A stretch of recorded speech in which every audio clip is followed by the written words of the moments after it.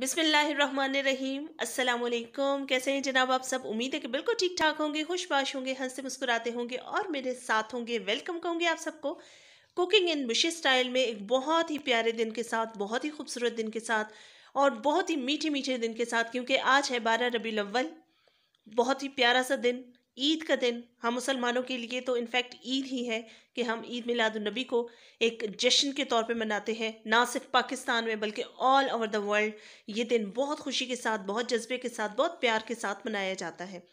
तो हम भी अपना हिस्सा जिस तरह से भी डाल सकें, जिस तरह से हम कंट्रीब्यूट कर सकते हैं, हम करते हैं और इसकी खुशी को हम मनाने की पूरी कोशिश करते हैं।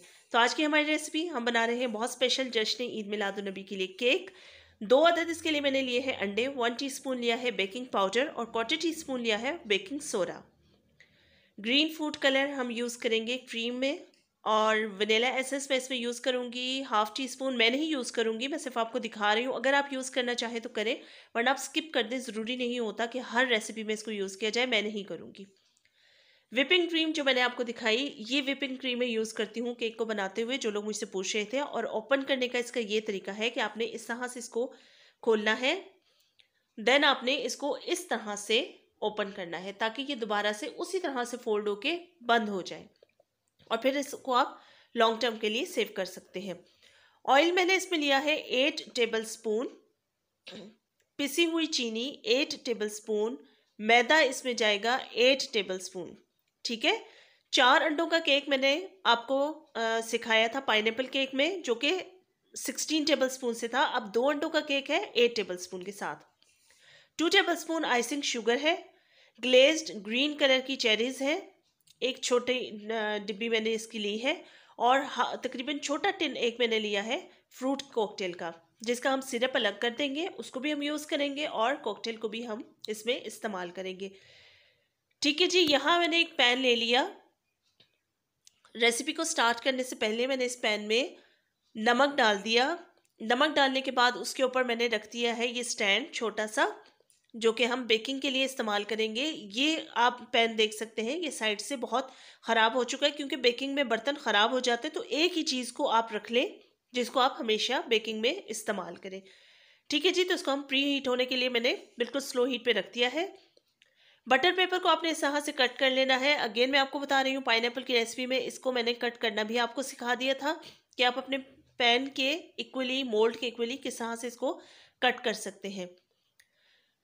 अच्छा जी, मोल्ड में मैंने ऑयलिंग कर दी ब्रश के साथ, देन उसके ऊपर पेपर लगाया और दोबारा से हमने इसके ऊपर ऑयल इस तरह से लगा देना है और हमारा मोल्ड जो है वो रेडी है। अब हम स्टार्ट करेंगे रेसिपी को। बिस्मिल्लाहिर्रहमानिर्रहीम के साथ एक बाउल में मैंने शामिल कर दिए हैं दो अदद अंडे। इनको हम तकरीबन पाँच मिनट के लिए बीट करेंगे। पाँच मिनट गुजर गए, अब हमने इसमें शामिल कर देनी है चीनी। पिसी हुई चीनी है, वन वन टेबल स्पून करके मैं शामिल कर रही हूँ और बीट करती जा रही हूँ, ठीक है जी? इतनी देर हम इसको बीट करेंगे, चीनी डिज़ोल्व हो जाएगी और अंडों का कलर जो है वह देखें वाइटिश हो गया, ठीक है? अब हमने क्या करना है कि एक बाउल में मैदा और इसमें हमने शामिल कर देना है बेकिंग सोडा, बेकिंग पाउडर। दोनों को ऐड किया और इसको अच्छे से हमने मिक्स कर लिया। ड्राई इंग्रेडिएंट्स को मिक्स कर लेना है। इसके बाद हम इसको भी एक एक टेबल स्पून शामिल करेंगे अंडे और चीनी के बैटर में और इस तरह से कट, फोल्ड कट, फोल्ड करते हुए हमने इस सारे बैटर को मिक्स कर लेना है। ठीक है जी? ये देखें, इस तरह से हमने इसको मिक्स कर लिया। अब हम इसमें शामिल करेंगे ऑयल। और ऑयल शामिल करने के बाद अगेन इसको हमने मिक्स कर लेना है। वनीला एसेंस अगर आप डालना चाहते हैं तो स्टेज पे आप उसको ऐड करेंगे। अगर नहीं डालना चाहते हैं तो आप इसको स्किप कर दीजिएगा। ये है जी कंसिस्टेंसी हमारे बैटर की। बिल्कुल रेडी है। मोल्ड में हम इसको ट्रांसफ़र कर देते हैं। ठीक है जी, इस तरह से हमने इसको मोल्ड में डाल दिया। और अच्छी तरह से हमने इसको बर्तन को साफ़ कर लेना है। ठीक है जी, सारा मिक्सचर डालने के बाद हमने इसको टैप कर देना है। ठीक है, ताकि ये जो आपको एयर नज़र आ रही है बबल्स नज़र आ रही है, ये ख़त्म हो जाए। पैन हमारा प्री हीट होने के लिए रखा था, हो चुका है। अब हमने इसमें मोल्ड रखा और मोल्ड रखने के बाद हमने इसको कर देना है कवर कवर करने के बाद हमने इसको 45 मिनट्स के लिए यूजुअली वैसे हम 45 मिनट रखते हैं, लेकिन ये 35 मिनट्स में रेडी हो जाएगा क्योंकि हम कम क्वांटिटी में बना रहे हैं, छोटा केक बना रहे हैं। थोड़ा सा हम इसके ऊपर वज़न रखेंगे ताकि इसकी कहीं से भी स्टीम जो है वो आउट ना हो तो ये मैं छोटा वाला हावल दस्ता जो है वो यूज़ कर रही हूँ। मैंने इसके ऊपर रख दिया है और इसको हमने स्लो हीट पे छोड़ दिया। अच्छा जी, जो हमारे पास फ्रूट कॉकटेल था, उसका हमने सिरप इस तरह से अलग कर लेना है और फ्रूट्स को हमने अलग रख देना है। क्रीम एक कप मैंने ली और इसके साथ मैंने ली है आइसिंग शुगर। इसको हम बीट कर लेंगे। विपिंग क्रीम को बीट करने में ज़्यादा टाइम नहीं लगता है। हार्डली आपको फाइव मिनट्स लगते हैं। हार्डली फाइव मिनट्स ठीक है?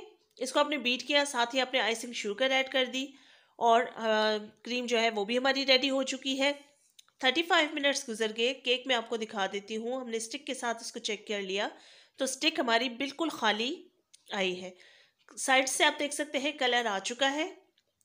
ठीक है? तो इट्स मीन्स के केक हमारा रेडी हो गया जब स्टिक के साथ कुछ नहीं है तो इट्स मीन्स के केक रेडी है। इसको हम निकालते हैं। थोड़ी देर के लिए हम इसको छोड़ देंगे कि ये ठंडा हो जाए। केक ठंडा हो गया है। इस तरह से आपने नाइफ के साथ साइड्स को अलग कर लेना है ताकि ये इजीली जो है वो निकल आए। ठीक है? इस तरह से साइड से आपने नाइफ घुमा लेनी है और घुमाने के बाद हमने इसके ऊपर प्लेट इस तरह से रख के इसको टर्न कर लेना है। ठीक है? तो ये केक आराम से बाहर आ जाएगा। ठीक है जी रिमूव कर लेते हैं इसके ऊपर से बटर पेपर को। बहुत ही सॉफ्ट बहुत ही सॉफ्ट केक बना है।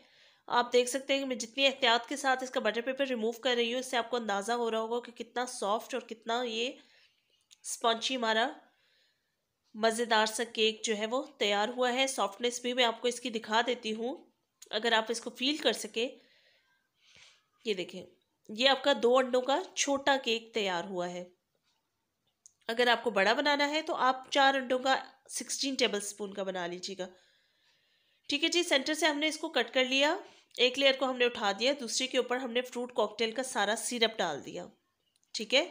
सिरप डालने के बाद मैंने इसके ऊपर एक हल्की सी लेयर दी है क्रीम की, बहुत ज़्यादा क्रीम ऐड नहीं कर रही हूँ, क्योंकि इसकी जो ऊपर भी बहुत ज़्यादा क्रीम यूज़ होती है तो हम इसके अंदर क्रीम का इस्तेमाल कम करेंगे। ऊपर हमने सारा फ्रूट कॉकटेल डाल दिया देन दूसरी लेयर रखी और इसके ऊपर भी हमने क्रीम ऐड कर दी है।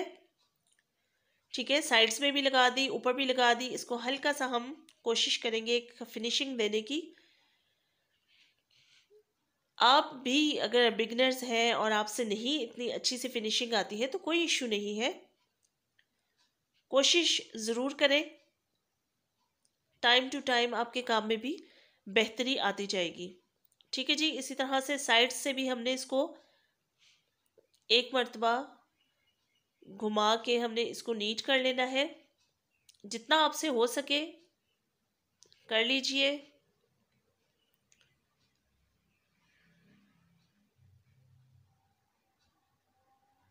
ठीक है जी, इस तरह से हमने इसको सेट कर लेना है।